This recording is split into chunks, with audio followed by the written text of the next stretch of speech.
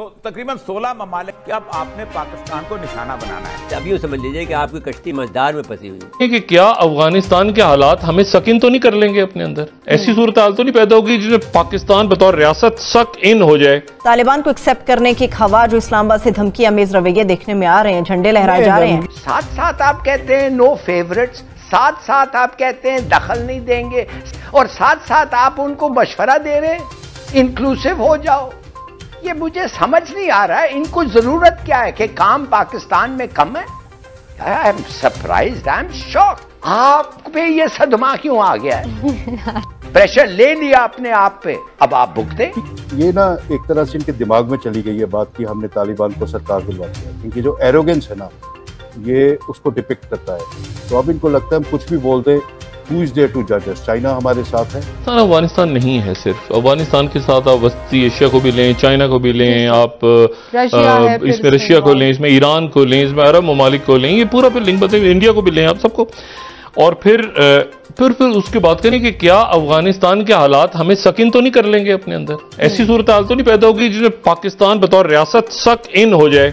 कि जो भी आपसे दुनिया बात कर रहा है वो अफ़गानिस्तान से रिलेटेड ही कर रहा है कि जी अफ़गानिस्तान के अंदर क्या बना अफ़गानिस्तान में क्या हुआ दहशत गर्दी हो रही है मीशत वहाँ की आपने कोई ऐसे वादे तो मतलब अफ़गानिस्तान के ऊपर मगरब अमेरिका की तरफ़ से जो बयान आ रहे हैं। तो हमें ये देखना है कि हम अफ़गानिस्तान की मदद तो करें लेकिन सकिन ना हो जाए वो खींच ना ले हम मैग्नेट की तरह हम उसे ना खींच लें या वो हमें ना कह ले दो अलग अलग खूबसूरत रियासतें रहें और अपने अपने काम करें और आगे चलें। तो जंग का मैदान खोलने के लिए हमने उस दिन भी कहा था कि पाकिस्तान में जो न्यूजीलैंड की टीम आई हुई है ये मजीद नहीं रुकती जहाँ।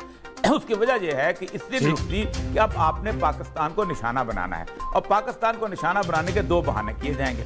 नंबर एक बहाना यह किया जाए कि यहाँ पर भी तालिबान का असर आएगा और यहाँ एक दिन जो है मौलवी जो है हुक्मरान होंगे और ये हमारा न्यूक्लियर पावर जो है वो शिद्दत पसंदों के हाथ चला जाएगा। एक तो ये। दूसरा ये है कि इंडिया के थ्रू हम पे हमला करवाया जाएगा और इंडिया ये कहेगा कि पाकिस्तान जो है हमारे इलाके में दहशतगर्द भेजता है। और इसकी सपोर्ट कौन करेगा? अमेरिका इसकी सपोर्ट करेगा जापान इसकी सपोर्ट करेगा अपना ऑस्ट्रेलिया और ये पूरी की पूरी क्वैट अब तो ताइवान भी साथ में रहा है। सारे सिनेरियो के तो और आप साहब ये जो ये जो आप बात कर रहे हैं जिन ममालिक का नाम ले रहे हैं क्या सिर्फ़ यही ममालिक है या इन ममालिक में मजीद और इजाफा भी होगा इस तकरीबन तकरीबन 16 ममालिक की लिस्ट है जो पेंटागन की डॉक्यूमेंट के अंदर। एक्सेप्ट करें। मगर तालिबान को एक्सेप्ट करने की खबर जो इस्लामाबाद से धमकी अमेज रवैये देखने में आ रहे हैं झंडे लहराए जा रहे हैं उसका क्या होगा साहब उसको वो एक अलग मसला। मौलाना अब्दुल अज़ीज़ जो नॉर्मल आदमी नहीं है का पहन लेते हैं या या धमकी देते हैं। ऐसे आदमी की पर, पर क्या तबसरा किया जाए?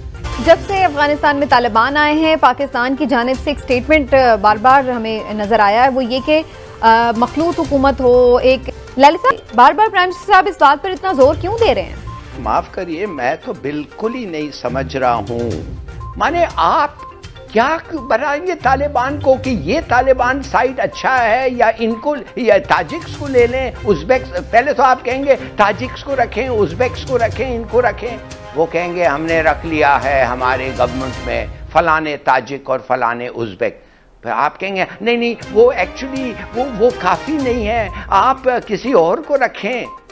साथ साथ आप कहते हैं नो फेवरेट्स साथ साथ आप कहते हैं दखल नहीं देंगे. साथ साथ आप कहते हैं कि किसी हम चीज़ उनके मामले में दखल देना देना ही नहीं चाहते। और साथ साथ आप उनको मशवरा दे रहे इंक्लूसिव हो जाओ। ये मुझे समझ नहीं आ रहा है इनको ज़रूरत क्या है कि काम पाकिस्तान में कम है? अच्छा। और अगर अगर ये समझते हैं कि कोई कंट्रीब्यूशन ये कर सकते हैं तो मुझे बताएँ कंट्रीब्यूशन कैसे करेंगे जब तक वो उनको ये नहीं कहेंगे ये नहीं मगर ये ठीक है। क्यों भाई? ठीक कुछ है ना कुछ तो आपने ओपिनियन देना है मगर आपका मसला नहीं है। It's not your internal affair तुम अगर भी आप जानते हैं और मैं नहीं समझता आप ज़्यादा जानते हैं तो आप किसको पूछेंगे? अमेरिकनों को पूछेंगे? ये काफ़ी है आपके लिए। या क्या? हिंदुस्तान को पूछेंगे ये ठीक है आप फिर ये मामला नहीं उठाएँगे। तो देखिए मैं काम कर रहा हूँ। I am surprise I am shocked वो तो वैसे ही कहते हैं कि ये और कोई। होगी वर्ल्ड के लिए। सॉरी। समीना एक मिनट एक मिनट ठीक है, समीना एक मिनट लास्ट सेंटेंस भाई ये चीन ने तो नहीं उठाया ना? चाइनीज़ तो नहीं कर रहे हैं आप? उज्बेक्स नहीं कर रहे हैं?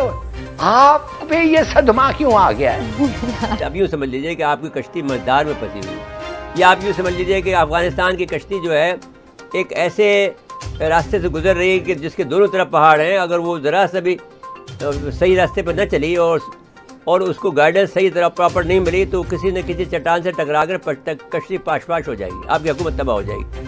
फिर से खाना जंगी शुरू हो जाएगी। जो क्या आपके मफाद में है कि आपको ये शौक है कि आप चालीस साल से जंग कर रहे हैं?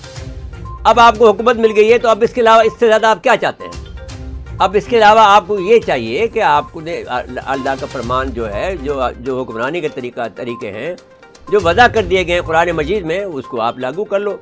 उसके अंदर बड़ी गुंजाइश है, इस्तेहाद कर लो क्या उसमें क्या क्या गुंजाइश है। अगर आप अपनी खवातीन को, आप अपनी खवातीन को आप पीछे छोड़ देंगे और तो उनको दुनिया जो है कोई भी बहकावे में ले लेगी।